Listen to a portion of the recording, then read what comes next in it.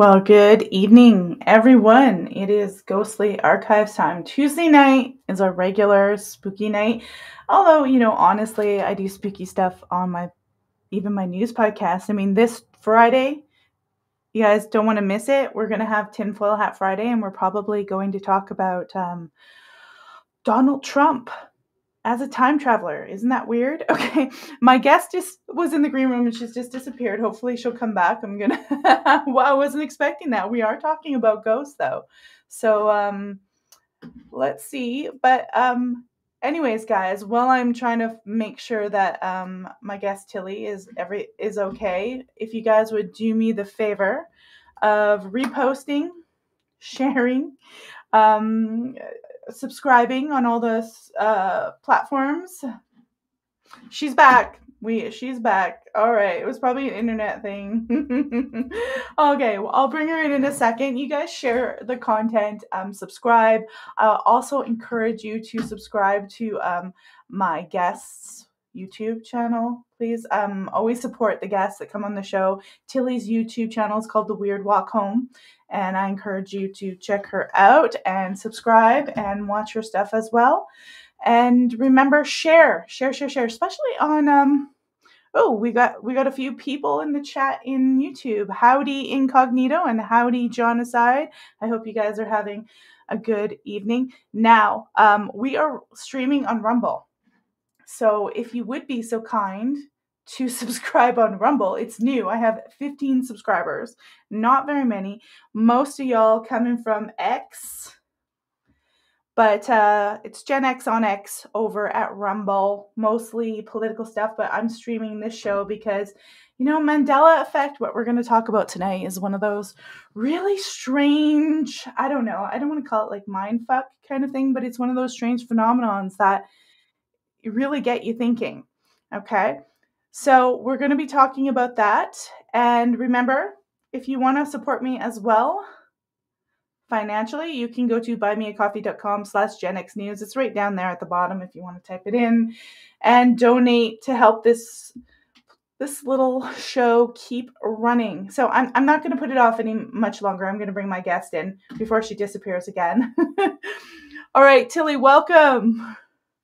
Hi, thank you so much for having me.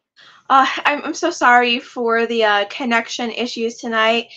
For anyone who may not know, we just moved out into the country. We don't have our Wi Fi yet, and uh, internet's pretty spotty here. So I apologize for anything that may or may not occur.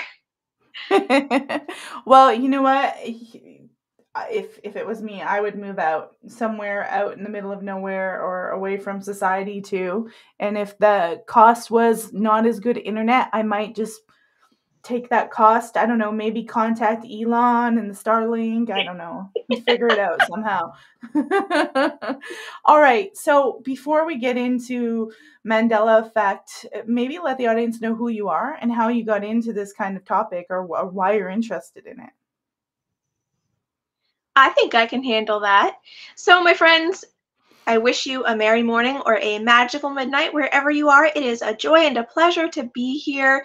And as far as my backstory goes, um, I've just been having paranormal occurrences since I was in the uh, the the baby carrier, and I I've always been interested because of those events just carrying it through my entire life. Then, when I was a little bit younger, I happened to be uh, essentially recruited onto part of the exorcist team for the Catholic Church. And I served about a year there. and then I, I decided to go my own way and I was offering healings, tarot card readings, all of that good stuff, uh, some mediumship services, and space cleansing, advising, all the good stuff there. And I retired a few years ago from that for the most part. Then I met Tim Swartz from Ancient Aliens, and uh, he wanted me to come right on his team. I did that. Now we have launched a YouTube channel together, and um, the rest is, as they say, history. Here I am. so, what what's so intriguing about the Mandela effect? That made you want to research and get into that? Because I'm in some groups and some of it I think, yeah, well, that I doubt it. I know how human memory goes, but some of it, it's like, Sure. yeah, no, that's really bizarre. I completely agree with you, my friend. Um, the Mandela effect, I have been witnessing that since I was about three or four years old, and I know what I saw.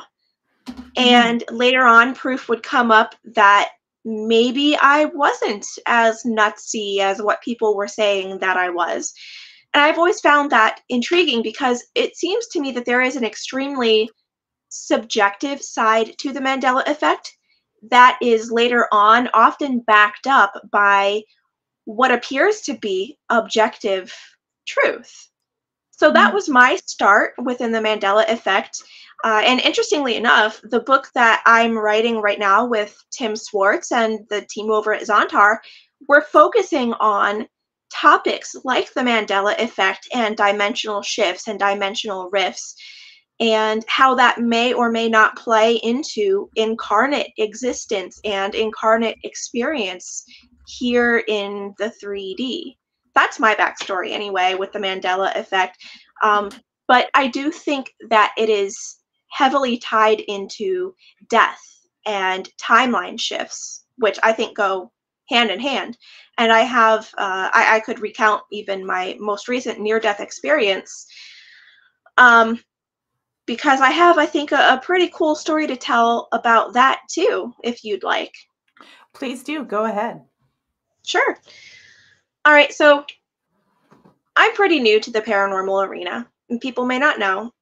Um, I have a pretty complex genetic profile, and part of that includes porphyria.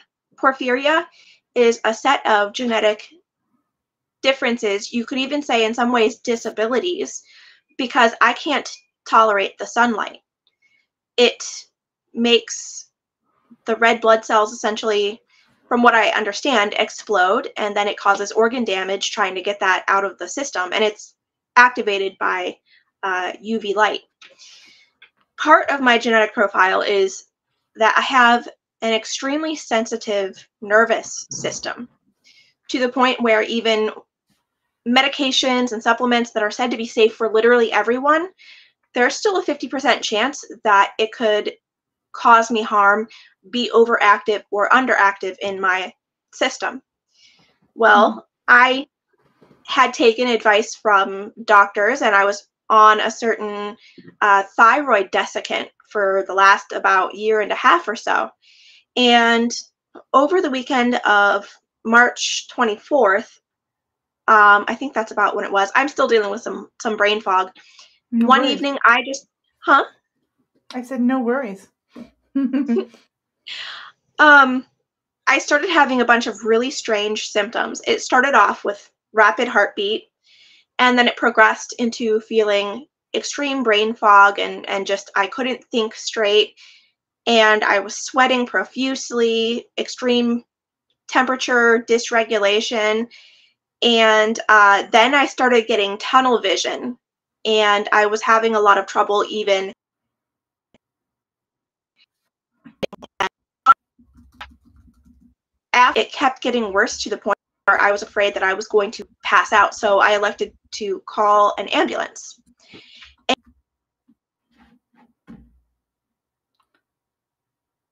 Hopefully her internet will click back in, guys. She's just having a little bit of connection problem.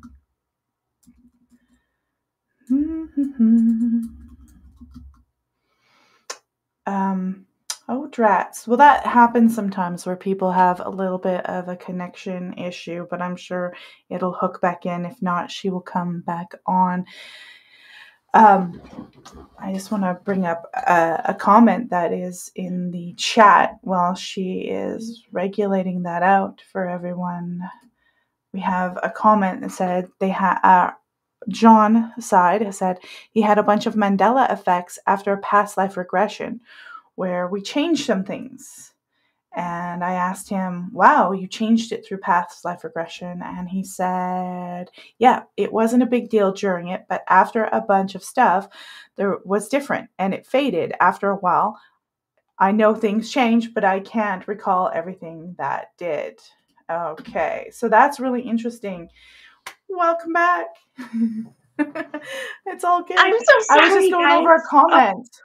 It's okay. I I was just going over comments that someone had while you were out that someone had mentioned that when they did past life regression, it had eh, they changed things and it sort of caused a Mandela effect.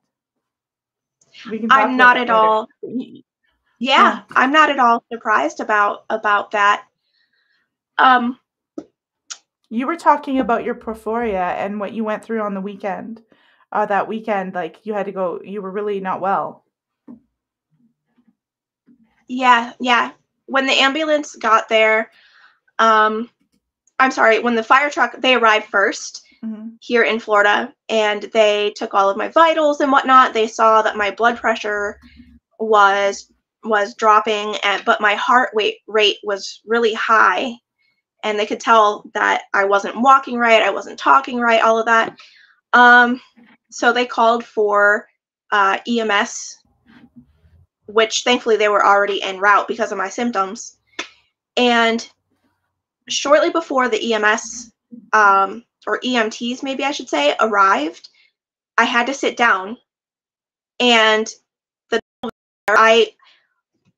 It's the weirdest thing. I was being blasted. It felt like in and out of my body, from here to what I realm or the Realm, and I would see over my visions. That vision that would give way to just like hundreds of pairs of eyeballs and non-human people watching me and some of them were like trying to, to point and tell me like Wow. seemingly to give me advice and i got the feeling that a lot of them were just really curious about where i was going to wind up and i felt like i was spinning and being rouletted and then i landed here so went to the the Wow. emergency room found medication to like medication immediately bring my heart rate down because it was that fast it was over helped me like my blood pressure and the I was having really serious anxiety to the point where I could um barely talk um like make coherent sentences. I've and I've never experienced this before. What they found out is that I was having a horrible reaction to um, thyroid medication and it was poisoning my blood. So Oh dear. that was that. I spent time in the hospital. I came home. When I was able to eat my my appropriate food again, I always have trouble. Well, I, I'm sorry, I always had trouble with a certain wisdom tooth that grew in really harshly and crookedly against one of my molars. I ate my food and then I realized I wasn't having any pain or feeling anything stuck back there. So I went to use some um, floss as I usually would, and it's usually such a pain in the butt. It would take me like half an hour to get food unstuck from there. It sucked. I felt no tooth whatsoever. There was no food stuck anywhere in there. I couldn't believe it. So I went to the mirror, and you know, I'm like prying my mouth open in the uh, and feeling with the toothpick. The entire wisdom is completely gone. I. I just have a straight row of, of and um, that was the biggest tell I think to me that I lines. At least that's that's my belief. That's my opinion. And um, it was the worst medical experience of my life, but I'm grateful because now it's another to talk about. Good for me in the long run because I lost I got a lot more super important information of my uh, genetic profile so that I can hopefully be here longer and have have more fun with you guys. So Well, that's um interesting that uh, about the wisdom tooth. That's really fascinating.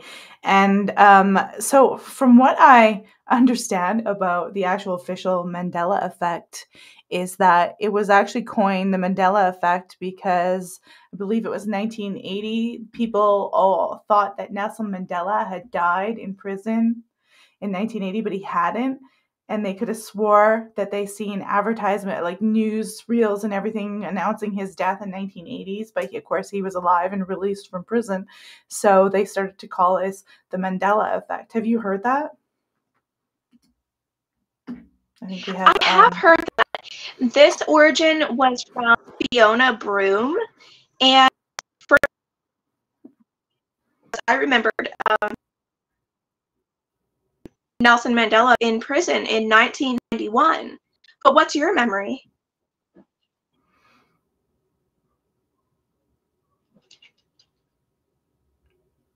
Oh, you just cut out there. It's a it's Oh, that's okay.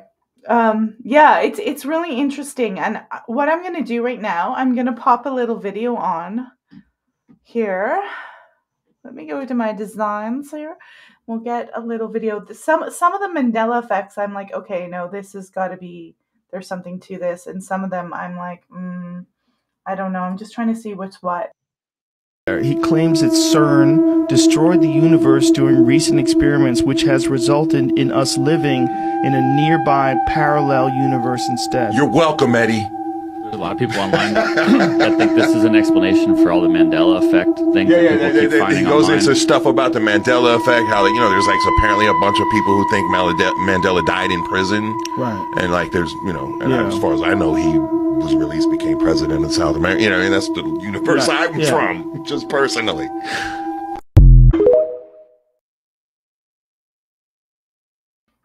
I, I find it, I'm going to pop her back up. I find it really interesting that they're equating CERN and a lot of the experiments that they're doing with Mandela effects. And then we have like, it's interesting that we have uh, in in our chat people talking about past life regressions. It's uh, it's like it's like there are two different ways of playing with time.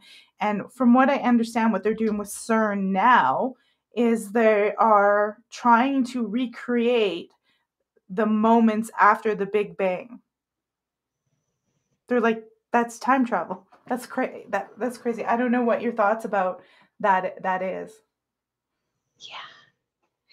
I think personally that it is feasible. So my understanding is that there are two different types of time and timeline travel the organic type, which is how the universe and our souls function. So, organically jumping timelines from near death experiences or just because our higher selves want to take a completely different road.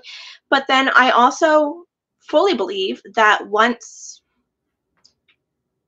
humankind starts to interact with the quantum more intimately and starts to uh, surpass a certain level of expertise, I really do believe that they are creating a 3D and sometimes even 4D version of time travel, timeline transference.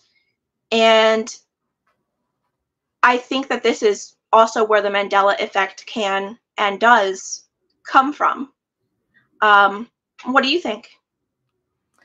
Well, I think it's really interesting that people have these, like, they swear on that certain things were spelt certain ways. Something was different. The Fruit of the Loom logo had the cornucopia. I think it's really interesting, and it, it, it to me it says like the organic way. I think is probably more common right now yes. because people are i think there's something happening with mind and thought and time and uh, in a way we don't necessarily understand it i think some things are explainable like i know um like with uh, my uh, my grandmother she would tell stories and they were consistent they were the same stories about what had happened in the past and ash when she was older just before she died i noticed her getting this combining the stories and and get, getting mm. them more confused so like that can happen where people get things confused but there are people who are saying no i swear to god and, and it was like that and i think something is happening just like when uh, john aside in our chat is talking about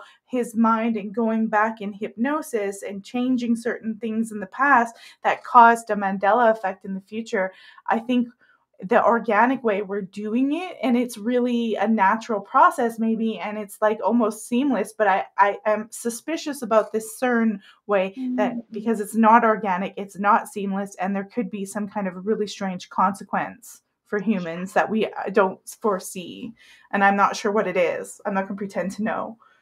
Yeah. Yeah. I'm with you on that and i i don't support humankind doing that type of exploration because of exactly what you said uh, consequences. We don't know what they could be.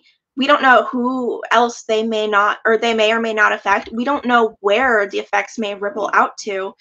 And um, it, it's it's tough for me because I personally don't support it. However, I believe that God or the creative source wants to explore every and any possible outcome. And so this is just another one of those trails. And who am I to to judge? That's what I think mm-hmm. about it. Although I personally just don't support it, I just don't think it's a good idea. But I also am pretty risk averse. I'm not a gambling girl. You know what I mean? Yeah. But I, I totally think that their experiments are having some type of effect. And something else that I, I think I understand if it's true anyways is that in the in you could say the 4D and the 5D and beyond, those people um, typically I would say they're they're non-human people. They have access to many many different timelines, and so they can organically choose and jump as they please. And some human people seem to have caught onto this and develop their own methods of doing this, which also that's something I discuss in the book coming out soon with Tim. Uh, like the two cup method, jumping from dimension to dimension using that method, and there are lots of other methods available as well that seem to work here on this 3D plane. So, therefore, I just don't think that what CERN is doing is necessary. It, it screams in a, a strange sense materialism to me mm-hmm.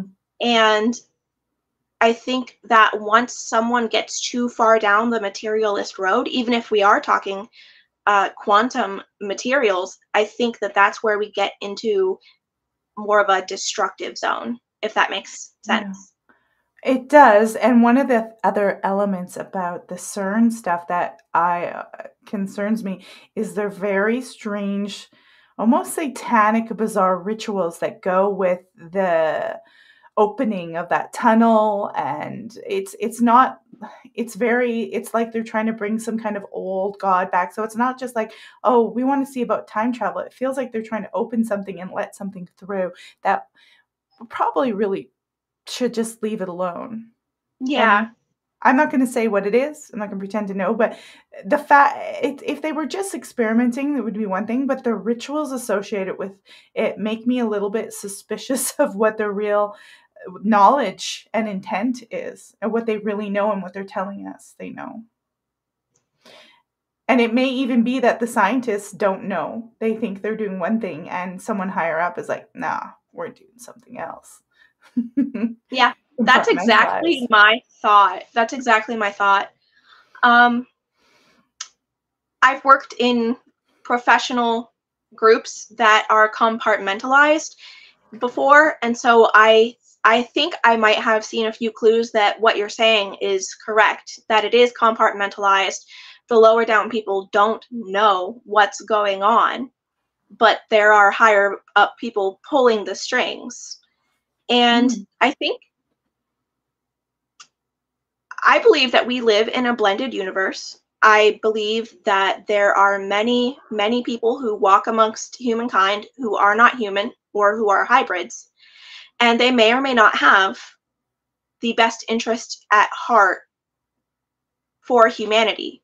So when I look at what you're saying, and I compare it to what I've seen the people at CERN doing, it seems to me that there are either human sellouts or possibly non human people behind the scenes pulling these strings to try to bring someone or something back.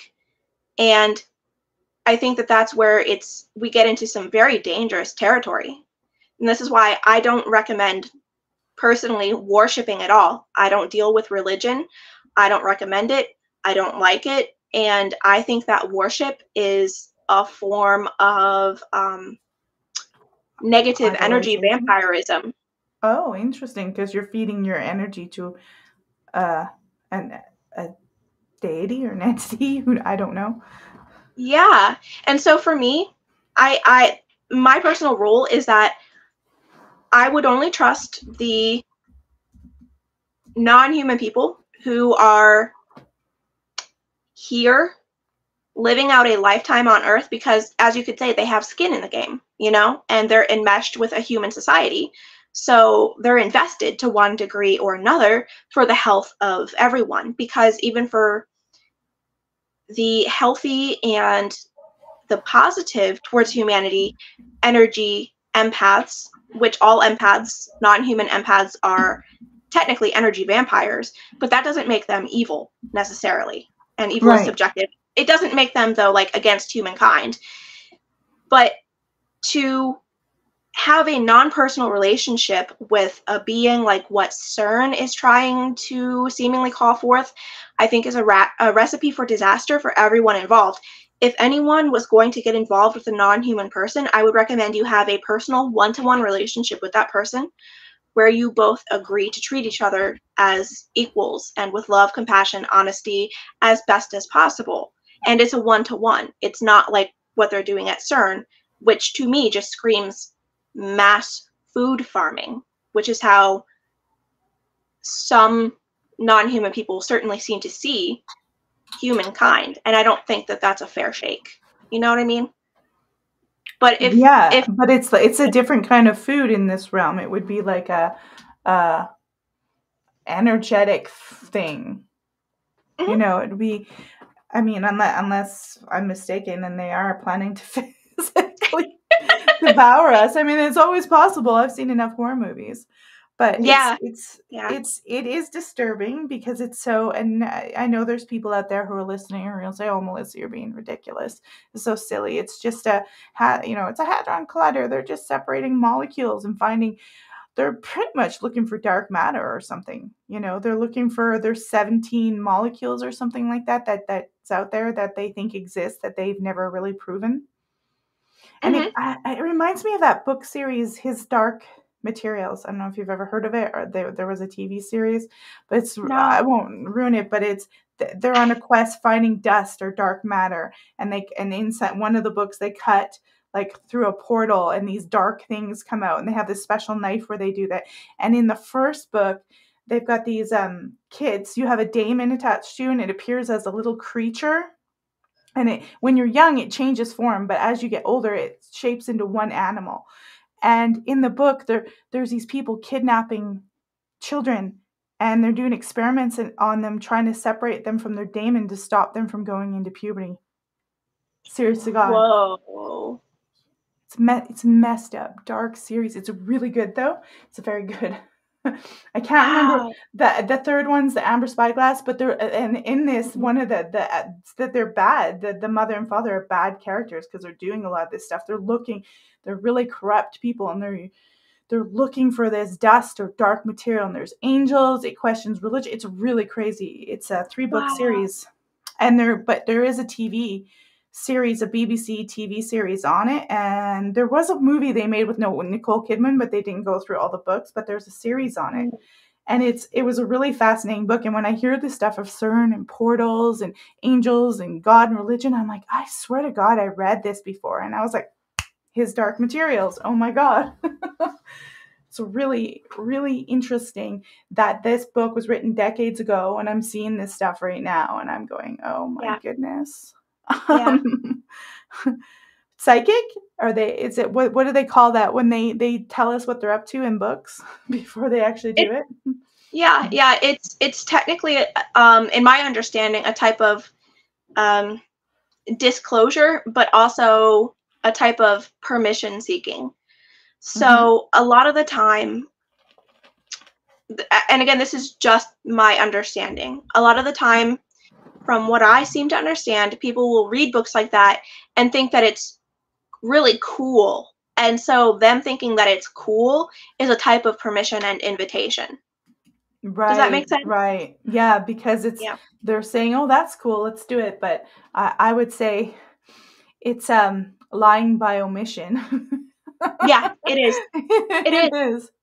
Yeah, because you're telling someone it's it's fantasy, it's not real. But I think people don't understand how reality is, and that their thoughts make things happen.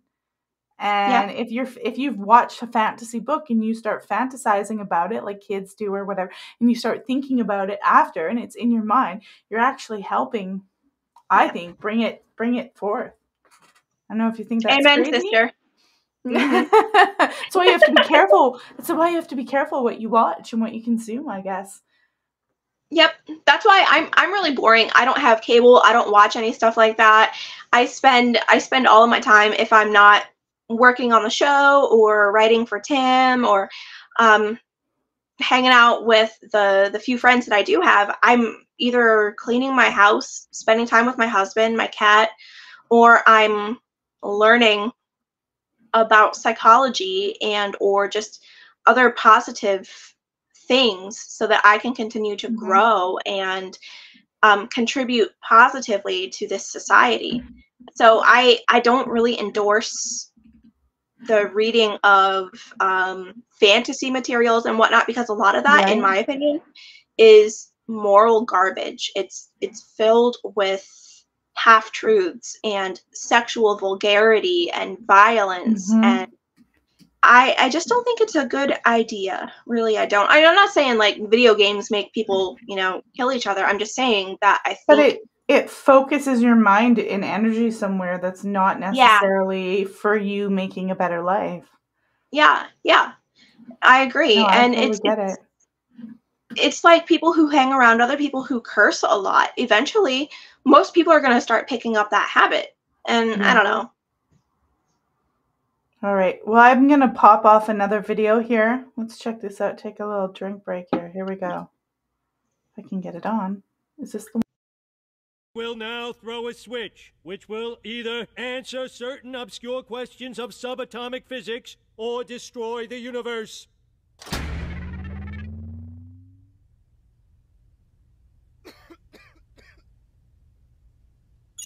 Oh my god, Particle.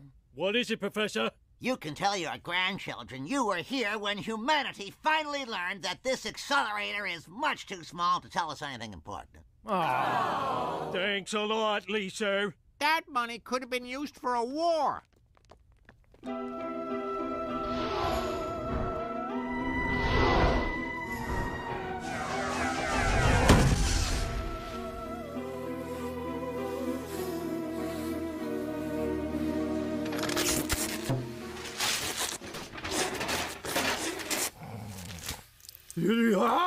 Ah! No one takes Willie's mop! Take them up! Take them up! huh? A mini black hole. Oh no! I gotta take it away before more clueless kids fall into it. Geronimo!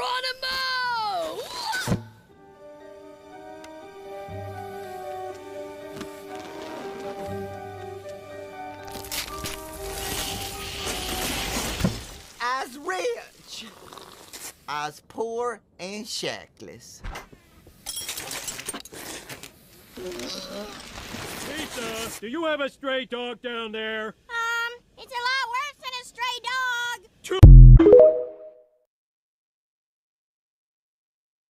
That's another one of those examples of The Simpsons predicting things and writing about things. Now, I'm not saying CERN's gonna make a black hole and suck us all up. But it's interesting that they kind of show a, a really similar situation of firing up this machine that's going to alter the fabric of your universe you know that kind of concept. So i don't know what's going up. There's there's a thing where people look at the simpsons and try to see if they've predicted stuff. I don't know if that's some kind of mandela effect. I don't know what that is I don't know, but I, I think that there might be something to The Simpsons. I I can't say for sure. It just it's awfully interesting to me that it seems like they get certain super specific things right. You know what I mean? Mhm. Yeah, like yeah. like like the Trump coming down the escalator and running for president.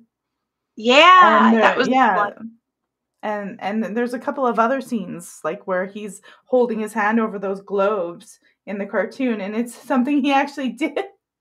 Yeah. i was like i'm like what the what the hell is going on? I'm I, i'm just like shaking my head going okay something there's something else to the universe. And i believe in law of i don't know if you believe in law of attraction or anything like that or like your mm-hmm. thoughts attract things. I don't think it's as simple as you just think about it and you get it right away I but agree. I, I think that it has something to it. So I don't know if that's playing uh, or I don't know. Like it seems that most people see the Mandela effect as like product changes or the change in like the Berenstain Bears. Do you think it goes beyond that or like it just oh, seems oh, everybody focuses on that? Yeah, I, I really do think it goes far beyond that. Uh, oh, who was it?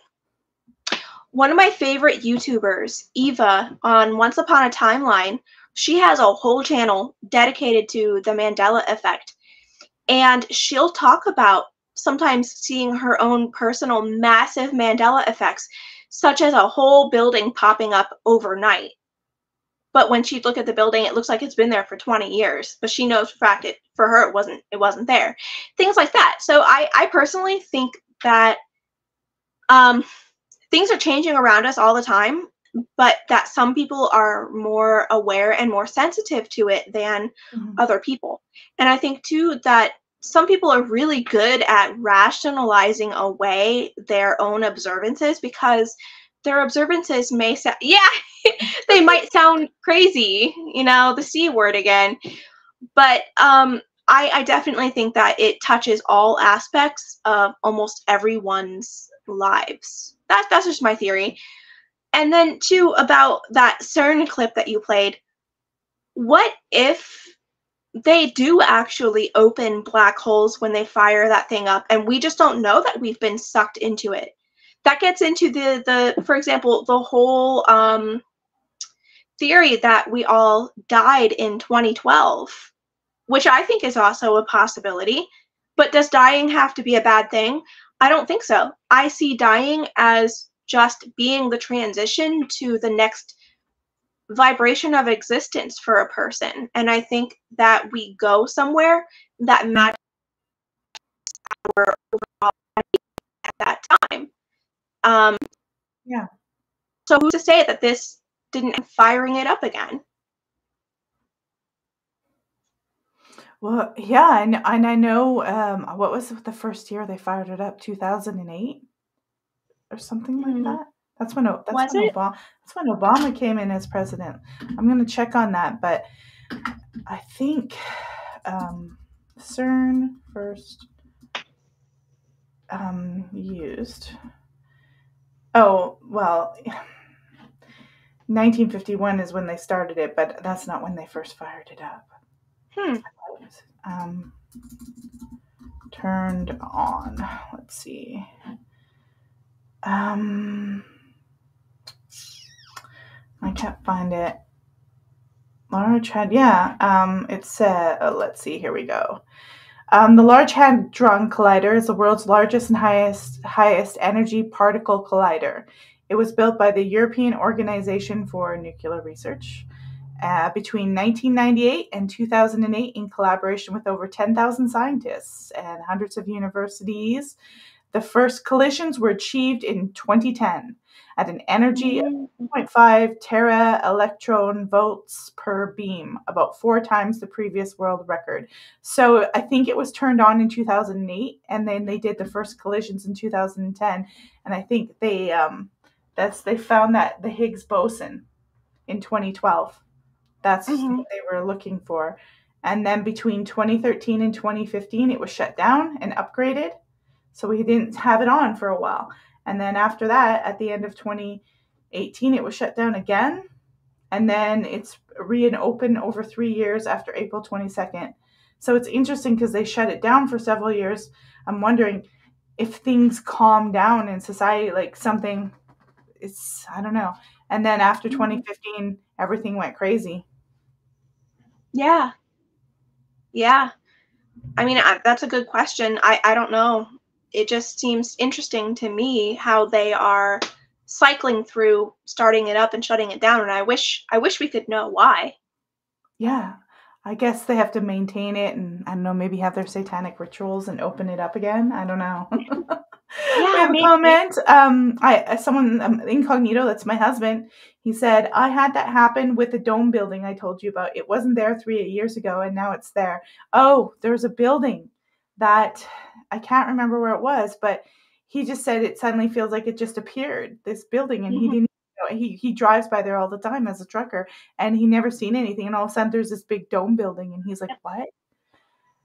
So, oh my gosh. Yeah. That uh that happened to my husband too.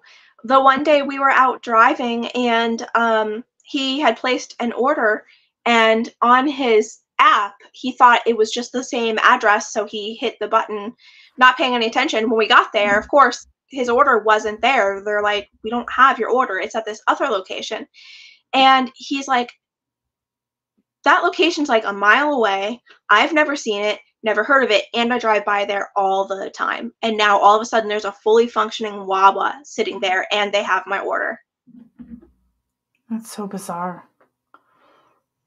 That's that's that's really bizarre. Now there's okay, I, I've got it's this is a little bit more trivial. It's a really quick clip, guys, so you have to pay attention. But I think this is explainable logically. I think this is silly, but this is an example of what people are putting out there about the Mandela effect. Here we go. We got La La La Marilyn.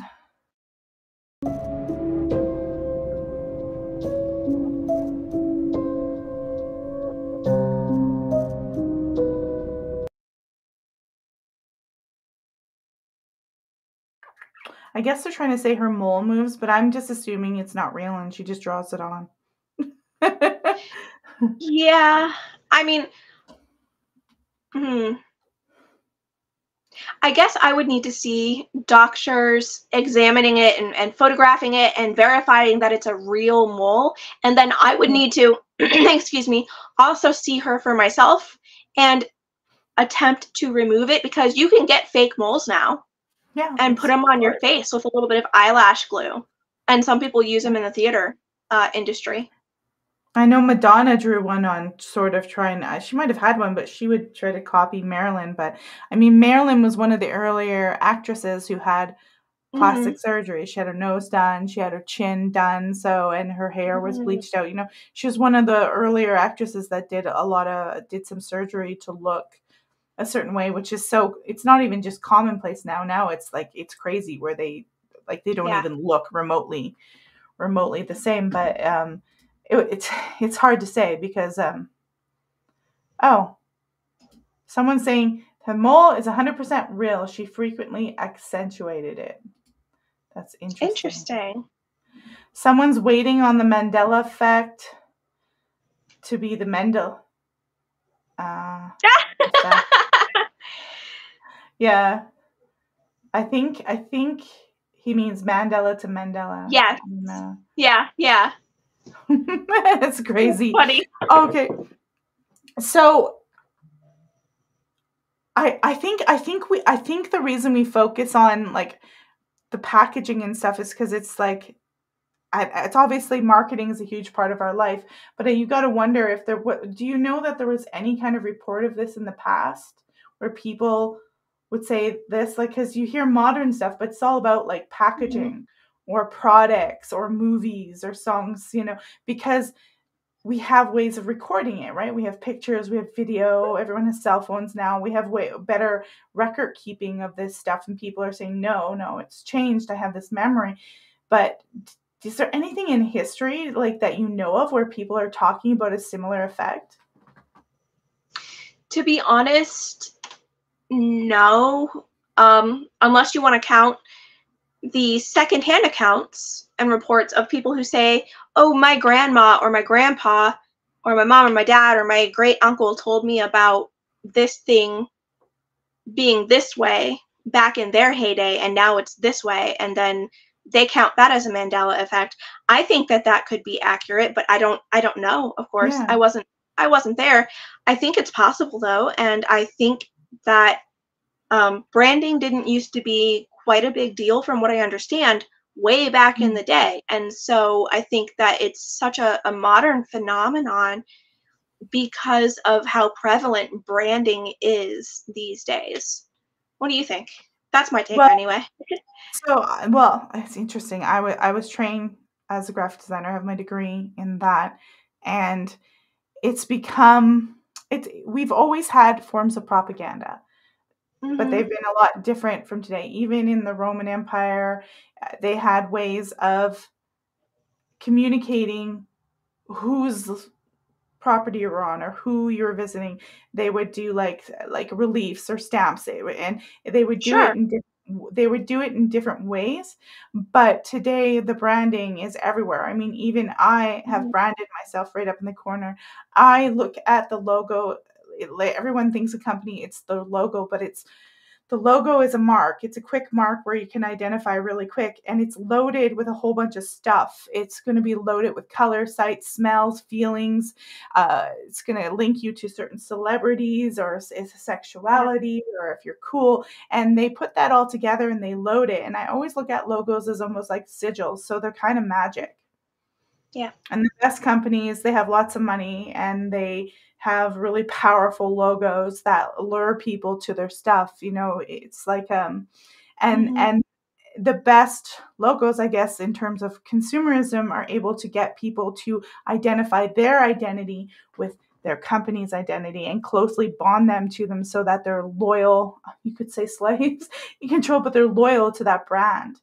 Like an iphone or anything but i always looked at it like a magical sigil but eh, we've always had branding We've always had something like that all along, but it's not quite as it's very it's all over the place. Everyone's has a logo. There's print everywhere. There's communication mm-hmm. everywhere. It's, it's it's also in America at least. It's very um, what's the word? Um, it's it's not a it's it's very sleek and suave. It's it's very well done. So you don't even really notice you're being branded to something and hypnotized or you're actually acting with what i would call a magical sigil. But that i mean that's my opinion. It's always been there to communicate but because we're more able to read and stuff like that they have to become more clever with it. And with the development of tabloid media right around jack the ripper's time that's why he was so famous and then the mm-hmm. development different brands and and corporations. It's just it's like a modern kingdom really but it's really sleek stuff to get you to be a slave to their their companies. I agree. Yeah i completely agree.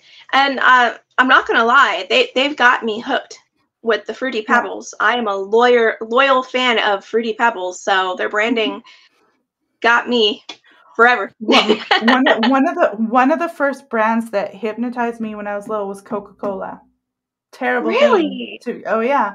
I always wanted to get a, a when I was little. I'd always want to stop at the store and get a Coke, and they had some pretty, like, you know, they had songs where I like to teach the world to sing, and everyone be holding yeah. their pop bottles up, and it was very mm-hmm. like, oh, it's peace, it's love. Like they they they yeah. hooked you in to something that was making you think that this product was going to bring you that. The deviant part of the sigils and the products in corporations is that they they send you a message of that but underneath what the product and how things really are is probably a lot different and maybe yeah. even nefarious. And it's a trick. It's a trick. Mm-hmm. Um, when I took graphic design, I was always told don't lie about what you're communicating, but too all too often in real design and media, that's all they do is lie. Right. There we go. Um, Edward Bernays. He's the father of modern, I guess, PR, oh, media, yeah. propaganda, advertising. Mm-hmm. Old Edward Bernays. And he's related to a lot of people who, I don't know, are they in politics? I, I don't know. Oh, and then we got MK MK Ultra drugs, all yeah. that stuff. I don't know. I mean, what do you think about yeah. that kind of stuff in relation to Mandela effects and playing with your minds and mm. drugs and well how can I put this delicately? I, I absolutely think that there is something to it because, for example, um, the whole water supply of the uni- the United States is being medicated by things like fluoride. Mm-hmm. And they're saying that it is for dental health. Um, but fluoride is actually a, uh, a byproduct, a waste product, and there have been some whistleblowers over time saying that it causes certain mental and emotional defects as well as physical issues. And we don't know the full extent. What if, for example, fluoride is a type of dumbing down tool, for example, and we yeah. all take it? So then that could also be then part of you could say maybe even MK Ultra. And then we have CERN firing up, and we know that the CIA, the FBI, all of them, they play mind games with the public. Even the Canadian government has done the same. Mm-hmm. There was an experiment where they were playing wolf sounds right outside of villages and, and cities for a while to see how the public would react if they thought that there were hungry like human flesh hungry wolves out there and so people were barricading themselves in their houses, refusing to come out because they were so terrified. And so, what if it is a multi pronged attack on the human mind? And what if that dumbs down an individual's ability to notice quantum changes and believe their own eyes, believe their own minds? Does that make sense? It does. And that sort of devious way of making a fake villain that or a fake threat is always how a lot of this stuff's done whether it was the witch hunts yeah covid whatever it was they present it and they build um, a fake reality that's so real and the news is very enticing where people think there really is something that's going to kill them mm-hmm. and it's back to propaganda and media and confusing the mind which is why people get so confused with stuff because it's a form of gaslighting is like mm-hmm. that let's take let's take the witch, witch hunts for example um, they were sort of witch finder general types of people were around for a while trying to make it happen and convince people in villages that there was witches and everybody just poo-pooed them off even the priests and the pastors and they were like this is that's crazy and so it didn't stick at first. And what made it stick inadvertently was the um, creation of the Gutenberg press. So you had these people that were able to leave little woodcuts or pamphlets, they were actually able to leave their message behind. It wasn't just verbal. So we could orally talk, but we're recording this and now we can leave our message here. That's why they're so threatened by us on the internet. Yeah. But these witchfinder people, because of the creation of technology, were able to leave their message behind and then it sits there and people see it and they see it all the time and they it keeps repeating and then they start to see witches everywhere. Yeah. They start to interpret every behavior that they never misinterpret before as witches. Now that can ha- happen with us when the Mandela effect. We can put pull that stuff on ourselves. We could do that with conspiracy theories. You have to remain objective, but there's no doubt that not just the internet but social media is literally a, a, a similar catalyst for a lot of things with tricking us and and and and and propaganda that that the printing press was and you get all of that's why you're getting all of these marxist groups and all of this stuff in our culture telling us really unscientific stuff and i'm not going to get into it because mm-hmm. this is streaming onto youtube sure. but there's a lot of devious groups and organizations and the cia and they're all operating and it, it's i think we're experiencing something strange not just because the hadron collider but and mandela effects but because of the creation of the internet itself and social yeah. media it's yeah. it's mind it's my it's it's extreme gaslighting it's no wonder gen z's are like totally depressed yeah. Oh, yeah. And eh, my biggest issue with, you could say, like the human ego, the common human person, and even the more psychopathic ones, just most people, I think that most people live a life that is short on integrity, but high on ego and arrogance. And that really freaks me out, really bothers me. I stay very much away from people in my day to day life because I notice that most people can't be trusted to keep their word because as soon as their feelings change, their integrity changes. And then we have to get into this um, hard, maybe hard truth that most human beings, most human animals do not understand what opinion is and what fact is. And if they did, yeah.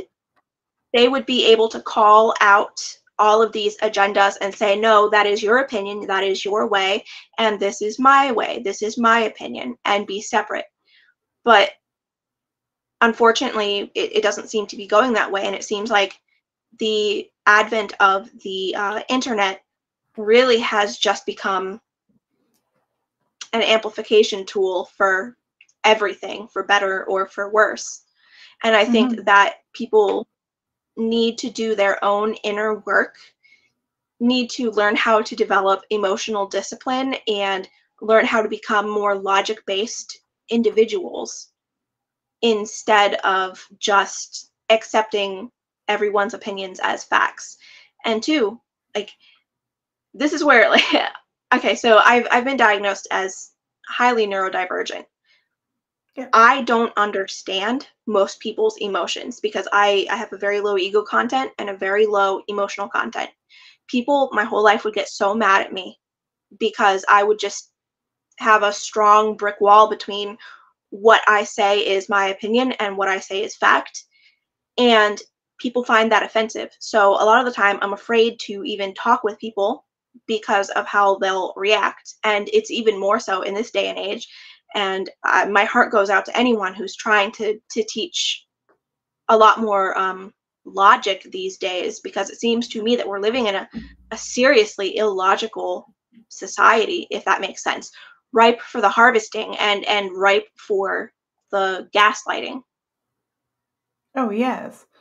Especially i mean especially if if things are changing and we we mm-hmm. don't really understand reality and how it's actually working. And like you could change something maybe there wasn't mandela effect maybe something happened or you swore you saw something but it's different and then you think somebody did something to you maybe that's really happening or also yeah. like on the internet they can just wipe things clean and you're like yeah. no no i swear to god I, you know and, or you can see things on social media that triggers you and gets you emotional and it may not be it, it might be something that has nothing to do with what you're seeing. Maybe it is, maybe something's happening, maybe it's not, but it can be all this stimulus can be really confusing for people. And mm-hmm. um, if you don't have a sound mind or you can't calm yourself down somehow and just take a moment to step back, it's like I, I can see, I think social media has increased mental health issues totally, 100%. yeah. my son's like, uh, I'm glad my son doesn't even really go on it too much. It's ooh, it can be it can be really terrible, but uh, and I can see why people I I think there really is a Mandela effect, but it's like that's why I said, well, is it a Mandela effect or are you just misinterpreting it? Because i've seen people in this mandela group go no no it was that way and I, like like there was this commercial with the dog he's got a frisbee in his mouth and it and it's called ubu productions and he goes sit ubu sit ubu. That's how i hmm. remember it. I used to see that commercial it wasn't a commercial it was like um the production company's little spiel before the show would start. And okay. there's people saying no it says sit boo boo it said sit boo boo and i'm like no, no no no it totally did it. and everybody was like no it said sit ubu and so it's just it's it seems like really weird weird stuff and and i don't know if it's just because we're transfixed on logos and media but i mean really nobody in history has been barraged with this much media yeah. as as we have so maybe it's doing something to our brain. I don't it know. it could be.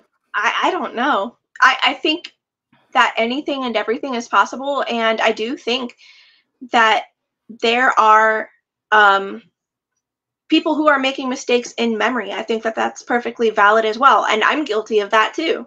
I think that just being here in the 3D, our brains, our minds, our recalls, they're not perfect. And I think that that's okay too.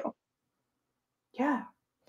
But I like that idea of like, what John aside in the chat was saying about doing past life regression and sort of making a Mandela effect as therapy. Have you had much experience? Like, do you know anyone who's using this, like almost like a therapeutic thing to get stuff out of their life or to change things that, like, they have regrets or or or past, or they want to see if they, there's something in a past life that's making their life suck today? I don't know. Do you have you like dealt with that uh, kind of as a th- Mandela effect therapy? Yeah, so I, I have actually um, done therapy like that in the past for some of my clients. And the way that I would structure it is first, we would um, focus on radical acceptance. So we would be, I would work with the person to be open minded to anything and everything. You might be mistaken. There might be something going on in the quantum universe, or maybe your higher self has wanted this change, or maybe somehow accidentally something has changed. And then once we can get past that hurdle of radical acceptance, I would talk to them about just accepting the fact that this is how something is, seeming to be right now. And if they can get past that second step, that the reality seems to be this, like, okay, so here are the possibilities here is the reality of what you've got right now. And then the third step, here is what you want. Let's actualize this. Let's talk about this, get it all out on paper and get it all detailed. And then the final step is how can we get you there, regardless of um, the, the previous acceptance steps, regardless of your feelings, regardless of anything that's stacked against you. And then that's where we would start talking about the use of, say, prayer in a certain sense, the way that I regard prayer. And that seemed to get some pretty good results for people who seem to take it seriously. Mm-hmm. And some of the things that they would look for when they were allegedly jumping these timelines would be personal Mandela effects. So in Reddit, or I'm sorry, on Reddit, there used to be um, a board that would talk about dimension jumping. I don't know if it's still active or not, to be honest. I haven't been there in years. Um, but I was I was a lurker there, and someone had the brilliant idea of tagging the board with a certain number. They would say, "Welcome to Dimensional Jumping subreddit or whatever. We are in dimension like 3216 or something." And I wrote down that number specifically, and I took a screenshot of it on my phone at the time. And I came back later, and that number had changed. Interestingly, though, the number that I had written down on my phone and the screenshot still showed the old number. And this was apparently something that you couldn't change once it was set in stone. But again, I was a lurker. I don't really know how Reddit works. so it seems that it the Mandela effect could be useful even for jumping timelines consciously. Um, yeah, I think that those, that's my take on on the Mandela effect with therapy. I think that's all I've got for you there. I hope that helps. Right. it would be it would be interesting to sort of look at um, that. I did a past life regression once. I'm not going to go into it because it was really Mm. bizarre. But Okay. I, I don't know. I, I think I think it may have not right away, not like bam, bam, bam, bam, bam. But I think it, it would make your mind see things differently and and and cause some sort of shuffles or changes. I I, I don't know. I, I I wasn't paying much attention, but I could see how it would have that effect. Yeah. Um, 100% and same with therapy like uh, sometimes we're probably attracting things or things are happening um because of the way we're thinking and if we start changing that i i don't doubt that uh, i don't know something that you thought you bought thought you bought was pink is now blue Mhm. i don't you know i don't know um it's weird synchronicities maybe you chose a different color now that you changed stuff i have Sure. no idea could be something Oh, as yeah. strange as that now we Yeah. been uh, over over an hour i've got one more little video clip we can kind of discuss and then tie it up um Okay. It went by quickly wow Okay, go. Yeah. one more little clip. It kind of does a little tidbit about um, the top five or six different sort of um, Mandela effects. Here we go. And top six most weird Mandela effects. Do you remember Cruella de Vil's coat with Dalmatian spots? Apparently, it never had spots. Pikachu with a black tail. People say he's never had a black tail. The bucket list phrase wasn't around until the movie came out in 2007. Air Jordan Jumpman now has pants.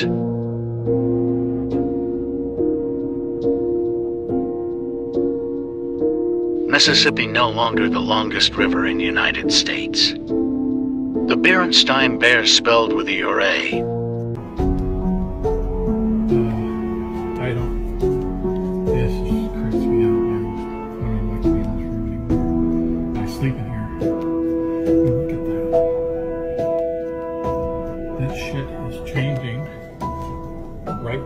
Top six most weird. Well, that was obviously some kind of special effect he did on the Bear Stain Bear book. But there is, so the one about the bucket list movie, I can definitely Mhm. tell you that was a term before because me and my friends used to say talk about our bucket list before that movie came out. So I find that Yeah, weird. But there- there's kind of some strange. I, I don't know if they're like the Air Jordans one. I, I you know a lot of these the Pikachu, a lot of these things I'm like well I don't know. I didn't I can't say because I didn't really pay attention to Pikachu. I wasn't collecting Pokemon stuff, and so it's just it's like interesting that like I said it's all toys and and and design and hmm I mean, there is the possibility that they put one logo out and then switched it and are just say and they don't remember and they don't have record Sure. of it. I don't know. I doubt it because when you're that big of a brand, you usually all your low everything's done to a T professionally and recorded and archived. You know, you don't mess around. So, but it's not impossible for things to get lost. But I don't know. It's it's interesting. It's just a little bit of a of a reminder of some of the more well known, I guess you could say, the well known ones. Um, the have you heard of the Fruit of the Loom cornucopia on the logo? Yep. And I remember it having a cornucopia. So does my husband. Yep. And Yep. once again, I never paid any attention. I'm like, I don't know. I wasn't paying. I go, I never bought Fruit of the Loom. I, I can't remember. But he's like, no, I swear to God, it had the cornucopia. I was like, Yeah. uh. And someone apparently found a shirt with it on it, but I, I don't know. It's so bizarre. It could have I- I- been Go ahead. No, go ahead. it could have been a prank. Um, that shirt. I know what you're talking about. I, who knows if it's real or not, or if someone was just having fun and made that and then roughed up the T-shirt and then donated it to Goodwill or whatever. Who knows? But I do remember the cornucopia. Um, I was fascinated by the Fruit of the Loom logo when I was like four years old because I I didn't understand why fruit and vegetables would be coming or fruit would be coming out of um out of a giant basket horn. You know what I mean? Right. So when it, it has sort of like a almost a a Greek mythology root, I think, or in Mm. I I don't I yeah, it's it's got a long history, the cornucopia and fruit. That's why it makes sense for it to be there in a way because Yeah. it's not it's not like some new invention. It would be uh, pointing back to history, mhm. you know, as an iconic image. Um, Yeah. but it, it's it's I don't know. It's it's fascinating. Now, uh, we're gonna have to tie this one up. It's get at the minute and tw- we've been for an hour and twelve. So, do you have any last things that you, you want to point out that you're writing about or that you're looking at that are, is important about the Mandela effect? Sure. Well, for the Mandela effect, as well as any other type of um, magic, that, and I spell that with a Q at the end, Q for quantum, I believe that that is found in liminal spaces, liminal times, and liminal places. So I think that if people want to experience more of this, they can begin to hone their mindfulness and their objective observation skills. And then after that, make novel choices. Expose yourself to, of course, please be safe, activities and places where you normally wouldn't go. Really shake things up in your life because that is, in my understanding, the safer way to invite more magic into your life. You don't have to go through a near death experience to invite more of it, in my opinion. And I think that if more people can build their mindfulness and their sense of everyday adventure, I think that we'll be well on the road to creating heaven on earth. Yeah, you're you're consciously creating things rather than unconsciously emotionally reacting to everything. Um, w- one last question: is Do you think ghosts have something to do with Mandela effect? Because I did put ghosts in the title, so I'm like, I just realized I didn't say one darn word about ghosts. Oh Um, yeah, you're I've had right. ghostly experiences, by the way, and I've been a haunted house, so I was like, I gotta tie this in. Do you think? Yeah. Part of Yeah? I, I absolutely do think so. And my near death tale that I, I shared at the beginning, I regard that as a quantum ghost story. So when I came back, I started having other brand new Mandela experiences that are um, actually bigger than ones I've ever had before. So I think that they are heavily tied in. And I think that ghosts and spirits and the Mandela effect, all of it is just the quantum way of the universe. And I think it's really interesting to see how all of these lines can cross. Um, I think too that sometimes we, the so called living, appear to other people in nearby vibrations, maybe even as ghosts. And um, maybe too, that's why sometimes ghosts yell at people to get out and whatnot, because to them, Mhm. maybe we are the the ghosts or whatever. So I think it's all one giant circle. Right, and there's just different like um I guess you could say dimensions or vibrations, but it's all layered on top of each other. Well, that's interesting, and um I asked that because I I, I used to always joke about you know when I would put something somewhere, I swear to God I had it there. And, um, I would go to get it and it's not there, and I'd be like, oh, I must have a ghost. But I I, I Yeah. literally just did that this morning. I was looking yesterday before I streamed with my guest. I was looking for this um NARS um it's like a peachy it's really you put it on your cheeks and your lips is this makeup stuff and i swear it was in my pack that i carry and i emptied the pack i emptied everything out i went through all my makeup boxes i emptied the pack again it wasn't there i emptied the pack again i, I checked so many times i'm like oh screw it i'm just going to start the live stream I, I, I won't use it and then I went to pick my pack up to go out before I did the streams this, this morning because I had to grab some stuff at the store. And I opened my pack and it was sitting right there in my Yep. pack that I emptied five times Yep. yesterday at least. And I was like, Yep. you little bugger, someone must know I like you. Yeah. Oh, it was so um, funny.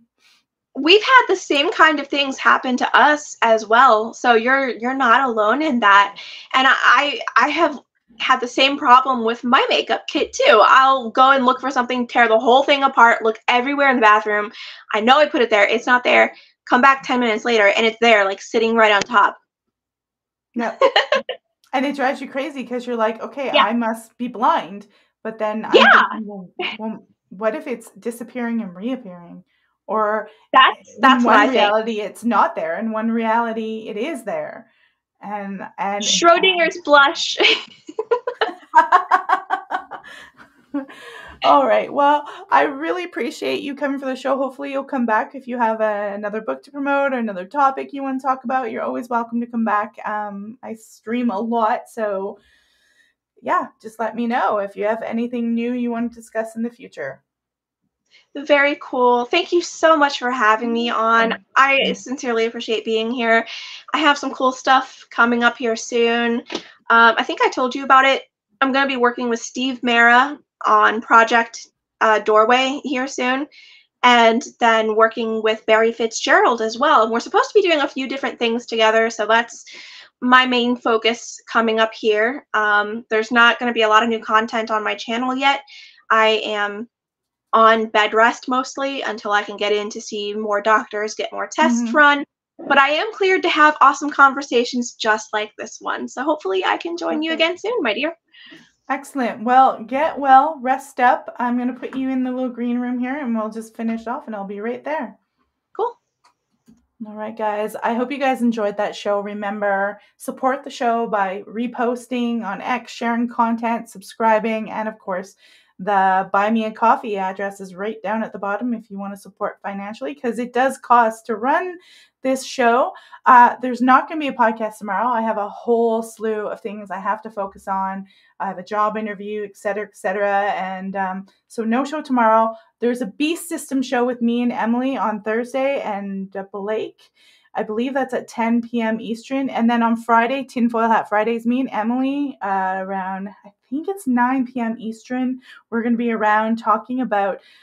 You want to talk about Mandela effects? We're going to be talking about Donald Trump as a time traveler. We talked about this one other time on Emily's show, but we're going to go for it and expand and go into all these weird things that are literally in history that literally predict Donald Trump. And we're, you know, there's this theory out there, this conspiracy theory that the man isn't just mega, he's a mega time traveler. So we're going to go there. And um, I thank you guys for showing up and watching Tillie's show. Please remember to go check out her YouTube channel, The Weird Walk Home, and support my guests. And I will see you on Thursday, Friday for the next show. You guys take care.